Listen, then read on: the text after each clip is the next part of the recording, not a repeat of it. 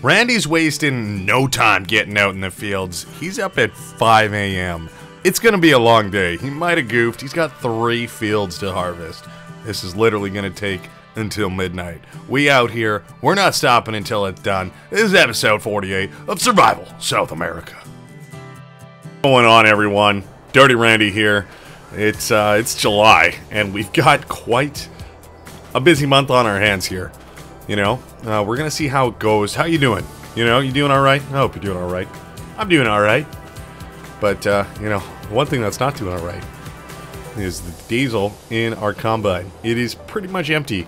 I had a quick peek at it this morning, and uh, yeah, it's it's real low.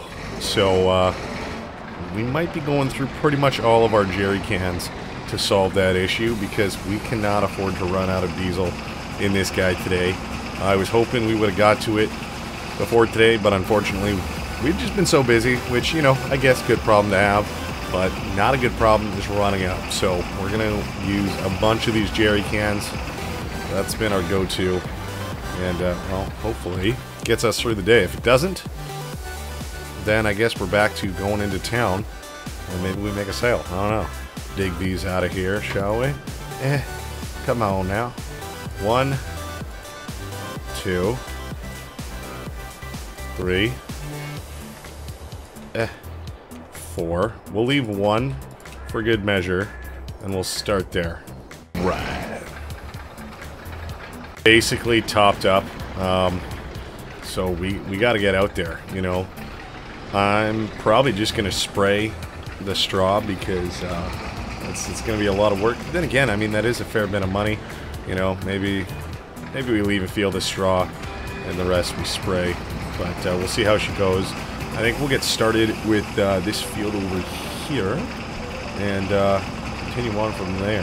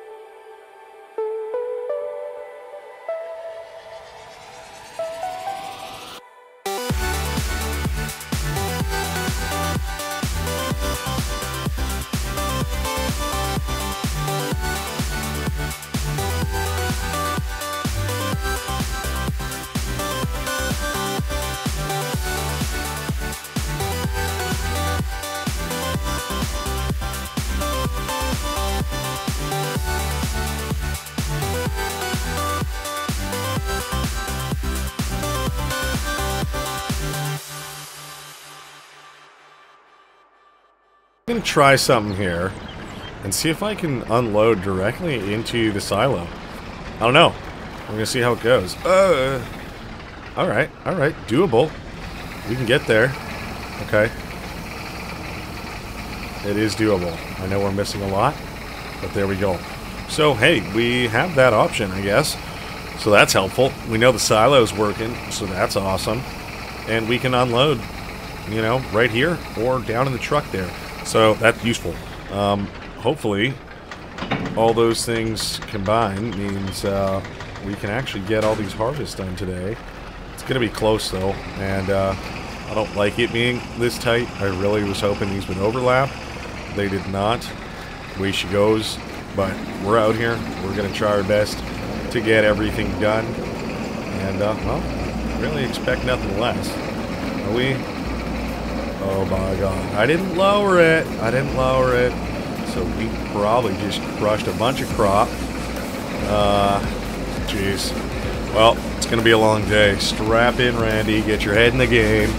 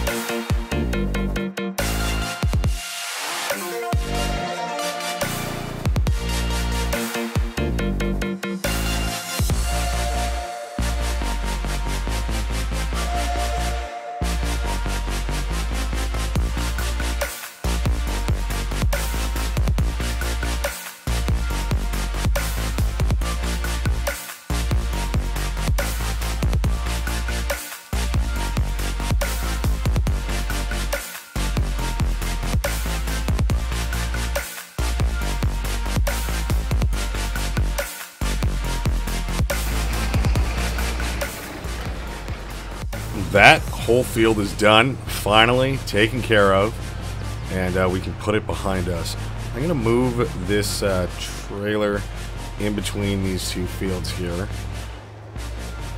and uh, just kind of continue on from there. I think I don't even know what field we're going to do next, but uh, either way, I think if uh, we're doing this one, we're going to have to rely on the trailer pretty much full time. This one, if we're smart, we can maybe use the trailer on the bottom and just unload directly on the top. Hopefully, we'll see. But, uh, you know, so far, one of three done. Absolutely no time to waste here. Oh gosh, as we head into our barley fields. It's already 1 o'clock, and, uh, well, our biggest field is done, so that is good. But these other ones, I tell you, they're, uh, they're still a fair size. This one, I think, is the bigger of the two barley fields we have, but either way, we got to get through them, you know. Hopefully, hopefully, we can do that in a reasonable amount of time. You know, I, I don't recall, I don't believe we've harvested this field with its new bigger size. So I think this should be interesting. I think I remember this combine reaching somewhere on the top side before it got completely full with like one full lap. Um, you know, I don't think we're going to do circular laps the whole time. I just wanted to kind of get the first one out of the way just to see what we're dealing with. And I would suspect yep, full right there. Um, so not quite enough for the top side here, but we can probably get two, maybe three strips in before we got to fully unload. So it is what it is. We're going to unload directly into here and, uh, well, just kind of get on with it. Do the best we can. Try and get done before the end of the day. Um, we have really no option, it seems, on this combine to spray the straw. That's kind of unfortunate, so we're just making swaths. You know, it's money, but it is a lot of extra work. So, you know, we'll we'll see when we can get to it and what field we can kind of prioritize to get turned around for the next harvest and so on and so forth. But, you know, it's going to be a long day out here in this combine. We're doing okay, I believe, uh, for diesel as it stands. We still have about three quarters of a tank, so that is promising. I'm hoping it can get us through this harvest, of course, and, you know, both fields we have left, and maybe even our soybeans before it's empty. So, you know, pretty well lasting for all of our fields throughout the year, and then we got to top it up with diesel. So, you know what? That's not too bad, but we might need to start buying like barrels of diesel or something like that to try and get it uh, topped up without know, buying like 50 jerry cans at a time. You know, I don't know. All good. We're gonna keep on keeping on. Um, I suppose we should uh, maybe be smart here, knowing that we're not to make it all the way up at the top there.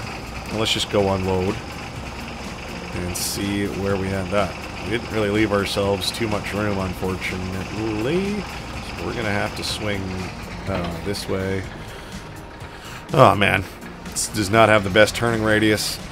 We're going to need to probably reposition the truck. I don't know if it's even worth it. We'll wait until we come back with it and uh, fully unload the trailer again. So there you go. We're gonna keep on with it.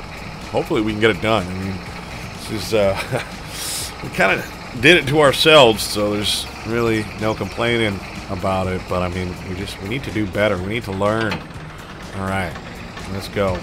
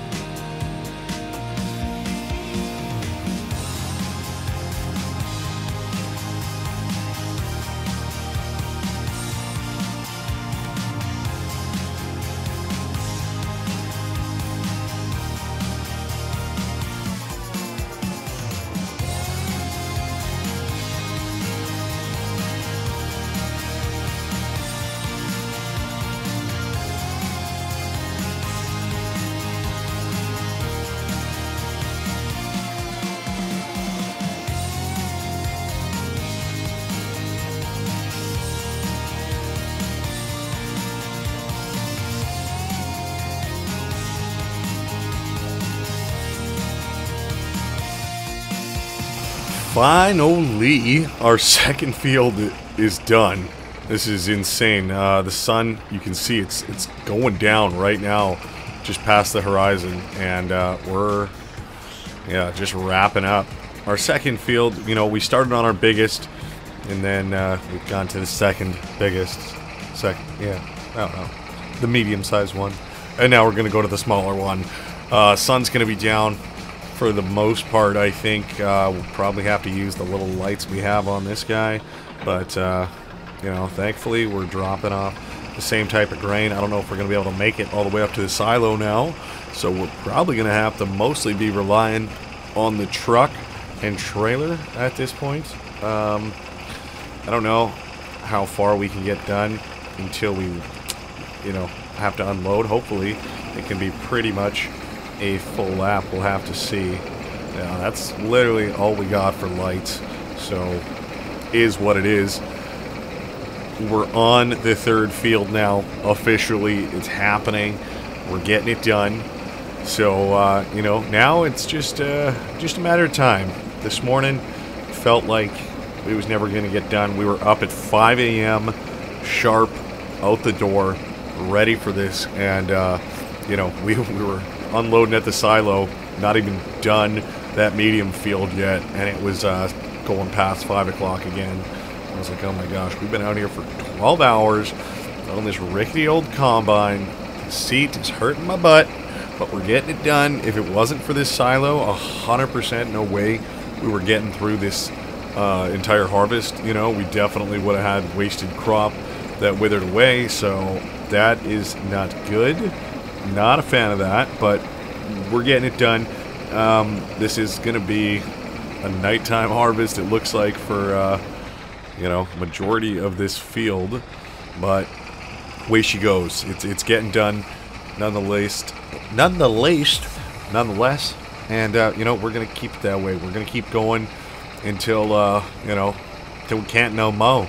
We'll go until, uh, go until we're done, to be honest with you. Um, end of the day, it's going to be a rough one, but that's the way she goes, you know. Uh, heck, we, we probably still got more stuff coming up shortly after this, like a soybean harvest. You know, I'm sure that's just right around the corner as well. So, you know, the work never ends all this straw on the ground combined with our knowledge from the other day with all that grass work has me thinking, you know, a new windrower is almost looking to be like top priority because if we could get one that combines two or even three of the widths that we're dropping here of the straw, that would really, really make our lives so much easier.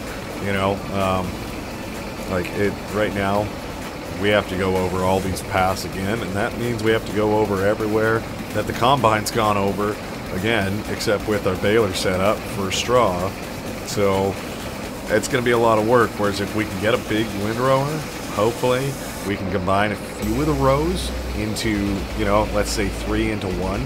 That would save two extra trips down that one lane, you know, and we would get a lot more in the process. So, you know, food for thought.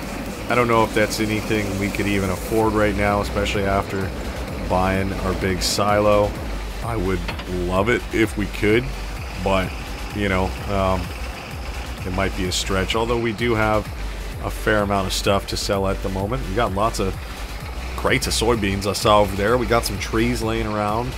We could sell a little bit of wool, a little bit of honey, you know. Um, so there's not like a shortage of stuff to sell. It's just you know, when the price is right, we got to get on it.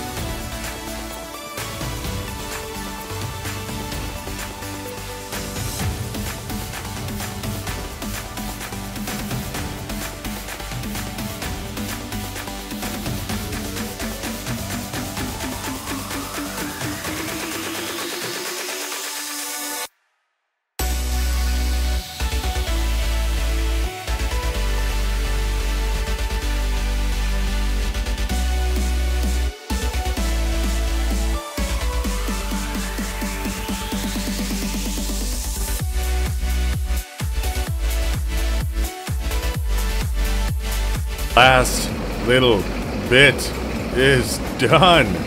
Wow, that was, uh, that's an adventure right there. I don't know if I want to put myself through that again.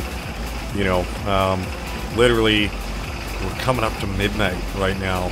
Like, it's, uh, we started at 5 a.m. and it's coming up to midnight. You know, we've been out here literally all day. This machine has not stopped.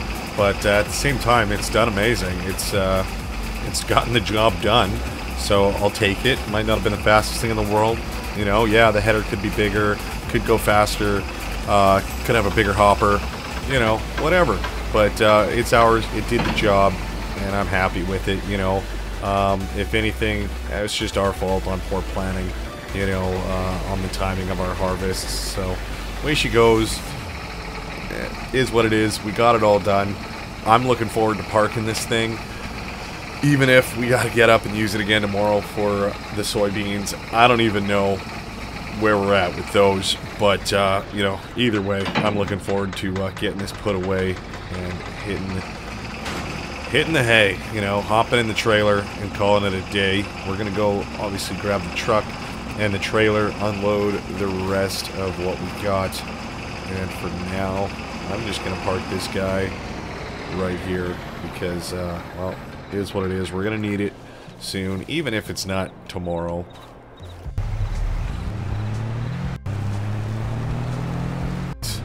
Got it all put away. Let's just swing around here real quick. Pretty much pull right up to the trailer. And, uh, well, I think just before we call it a night, I want to check and see how much we got. Because we got a silo. We can check that. 6,000 liters of barley and 10,000, almost 11,000 liters of oats that's pretty awesome. You know, that's a fair bit. 5, 36, almost 40,000 liters harvested in one day. That is awesome. So that's going to have to be it. Thanks so much for sticking with me. We'll see you in the next one. I'm Dirty Randy. Bye-bye.